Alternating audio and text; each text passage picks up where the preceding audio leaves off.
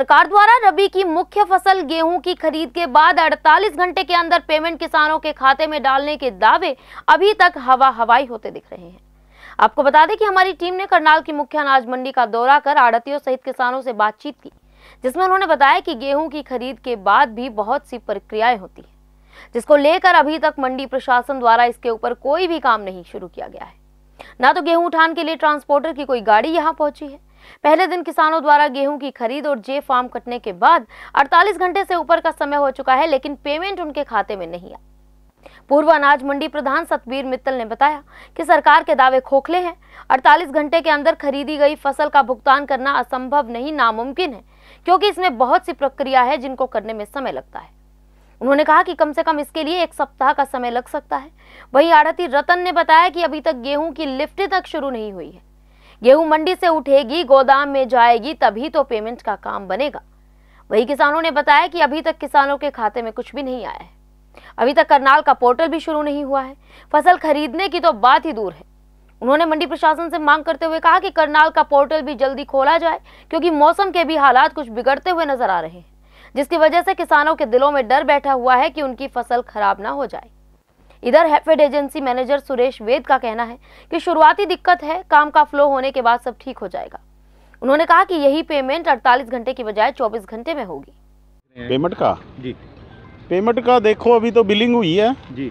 इसमें कितनी सरकार के दावे पहले भी सारे ही फैल होते हैं। जी। कहती कुछ है सरकार ऊपर एसी में बैठ कर पॉलिसी बनाते हैं। लेकिन यहाँ धरातल पे वो पॉसिबल नहीं है। अड़तालीस घंटे की जो पेमेंट सरकार कहती है ना माल उठता अड़तालीस घंटे में ना पेमेंट होती। तो बीच इसमें टाइम लगेगा। जो प्रक्रिया रहती है जी बीच में जैसे ट्रांसपोर्टर का लिफ्टिंग सिलाई छपाई हाँ। तो ये ये सब ये सारी ट्रांसपोर्टर है छपाई है सब आड़ती करवाता है अपने तरीके से। जी। आड़ती से सिस्टम बनाता है चाहे एजेंसी है चाहे ठेकेदार है चाहे ट्रांसपोर्टर है जो भी है उनसे मिलके व्यवस्था बनाता है और इस माल को सरकारी गोदाम तक पहुँचाता है। तो जो तीन दिन पहले की गेहूँ किसानों की आई हुई थी उनके ऊपर क्या कुछ अभी देखो अभी एक दो दिन में पता लगेगा सही।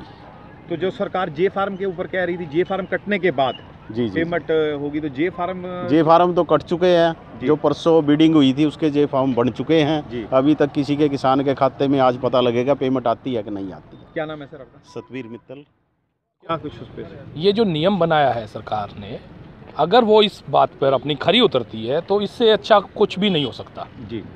लेकिन अभी कहना बहुत जल्दबाजी होगा कि 48 घंटे में या बहत्तर घंटे में पेमेंट आएगी। क्योंकि अभी इतना टाइम हुआ नहीं है। तो कोई संशय लगता है क्योंकि संशय बिल्कुल लगता है बिल्कुल लगता है कि दावा ये पता नहीं कितने दस साल से बीस साल से होता आया है कि बहत्तर घंटे में पेमेंट होगी लेकिन आज तक पेमेंट बहत्तर घंटे में नहीं आई। क्या कारण समझते हैं इनके बीच में? क्या कुछ प्रक्रिया ज़्यादा है या कुछ और लोचा है? नहीं फंड्स ही नहीं है गवर्नमेंट के पास इतने। इतने फंड्स ही नहीं होते हमेशा पेमेंट लेट होती है और दो साल से हमें ये कहा जा रहा है कि आपको 12 परसेंट ब्याज मिलेगा पेमेंट लेट होने पर। आज आ जाती है और एजेंसी खरीद लेती है। उसके बाद की प्रक्रिया क्या रहती है? सबसे बड़ी दिक्कत क्या है जी जो मंडी में माल पड़ा है ये गेहूँ ये लोडिंग होकर देता है इन पर ठेकेदार बना इन गड्डियाँ हैं इनके पास ना लेबर है जी। जी। जो मेन लेट होने देता ये है जी मेन तरीका। तो सरकार जो दावा कर रही है इस नहीं ये नहीं होता जी गलत है। तो आपका ये एक्सपीरियंस बता हाँ हाँ मेरा एक्सपीरियंस है जी ये ये पेमेंट नहीं आएगी। लेट आएगी। ने तो बात जी पोर्टल ये देखो ये भी खड़े। हैं अभी। जो। पोर्टल करनाल वाला खुला नहीं है अभी तक। जो पोर्टल ही नहीं खुलेगा तो फिर आप रजिस्ट्रेशन नहीं होगा जी फिर आएँगे कैसे हम? फ़सल ही नहीं आएगी हमारी तो खड़ी है वही। तो अधिकारी क्या कह रहे हैं? अधिकारी तो कु- कुछ नहीं जी वही कह रहे भी आपको मिल जाएगा मिल जाएगा तो कह जी ना- हमारी जो फसल पक गई है हाँ जी, अगर हाँ जी। बाई चांस बरसात हो जाती अब है हम तो कोई डीसी के बिजली पास कुछ गड़बड़ जाने कर के लिए देती है। तैयारी में हो रहे थे जी भी हाँ जी DC से मिले। अगर बरसात हो जाती है और हाँ जी, अगर बहुत बिजली का कोई नुकसान कारण है। रह जाता है तो आपका फसल का क्या कुछ रहेगा पोर्टल के बारे में क्या कहना है ਪੋਰਟਲ ਦੇ ਬਾਰੇ ਇਹ ਆਨੇ ਜੀ ਜਲਦੀ ਖੋਲਣ ਤੇ ਸਾਨੂੰ ਗੇਟ ਪਾਸ ਮਿਲਣ ਤੇ ਅਸੀਂ ਫਸਲ ਲਿਆਵੀਏ ਫਸਲ ਤੇ ਪੱਕੀ ਪਈ ਹੈ ਜੀ बड़े दुखी हैं। इस चीज़ पर हाँ जी वो बदल बने ने मौसम खराब है जी। 48 घंटे में पेमेंट किसानों को बता रहे ट्रांसफ़र कर दी जाए अजय वो तो हम सानू तो जे पास ही नहीं मिले जी। साड़ी पोर्टल तो ही नहीं हुई जी। पोर्टल नहीं हुई ट्रांसफ़र के हाँ जी हाँ जी। हाँ। देखिए मेरी फ़सल मेरा बेरा जो पोर्टल है पहले से अनेबल है उस पर जिन किसानों ने अपनी फ़सल की बिजाई की जो सूचना उन्होंने उस पर दर्ज कर दी थी और बिजाई जैसे सूचना दर्ज करने के बाद वो अपनी फ़सल पकने के बाद वो मंडी में लेके आया है तो मंडी में उसको ऑन गेट पे ही उसको मेरी फ़सल अपना ब्यौरा पे के तहत उसको फ़सल की इनवार्ड गेट पास उसको दे दिया गया है मार्केटिंग बोर्ड की तरफ़ से। उसके बाद वो मंडी में आता है आड़ती के पास आड़ती के पास हमारा परचेजर उसको खरीद करता है, खरीद करके बिडिंग उसकी कर लेता है। बिडिंग जो है वेरीफाई करता है मार्केटिंग बोर्ड का अधिकारी, कर्मचारी जो भी है, उसके बाद वो चला जाता है आड़ती के पास। आड़ती जो है उस प्रक्रिया में उसकी जो जे फार्म जो भी है उसको अप्रूव कर देता है और वो स्टॉक को रेडी टू मूव कर देता है। जैसे ही वो रेडी टू मूव करता है तो हमारा जो ट्रांसपोर्टर है, वो ट्रक लेके वहाँ पे जाता है। ट्रक उसमें ट्रक में लोड होने के बाद, तुरंत बाद उसका गेट पास जारी कर दिया जाता है।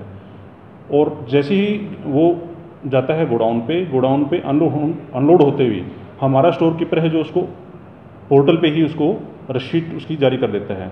जैसे ही गोडाउन पे अनलोड की सूचना डीएम की आईडी पे आ जाती है, तुरंत उसकी जो पेमेंट है, डीएम अप्रूव कर देता है। तो इस प्रक्रिया में मुझे नहीं लगता कि 48 घंटे भी लगेंगे। इसमें 24 घंटे के अंदर ही ये क्लियर है कि पेमेंट हो जाएगी। तो सर जिन किसानों की अभी फ़सल गिर गई है मंडी में हम्म, हम्म। तो जैसे आड़तियों से हमने बात की है हम्म। तो अभी आड़तियों का ये मानना है कि जी इस प्रक्रिया में सरकार जैसे दावा कर रही है उस दावा में कहीं ना कहीं पूरा होने की संभावना नज़र नहीं आ रही तो कैसा है? नहीं ऐसा नहीं है।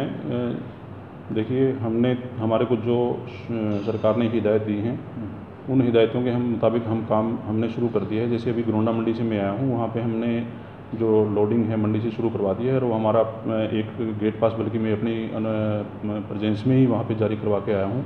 और कुछ देर में वो गेट जो है ट्रक लोड होकर हमारे गोडाउन पे उतरेगा और जैसे ही हमारा स्टोर कीपर उसकी अनलोडिंग की, वो पुष्टि कर देगा पोर्टल पे तो वो तुरंत डी एम आई डी पे आ जाएगा और हम उसको तुरंत वहाँ पे पेमेंट के लिए प्रोसीड कर देंगे।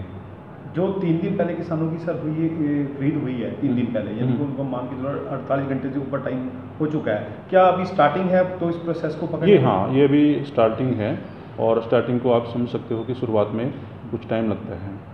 तो प्रक्रिया मतलब लाइन पे आ जाएगी? जी। ठीक है जी।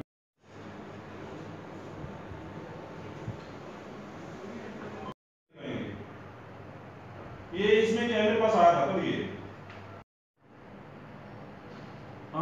हाँ जी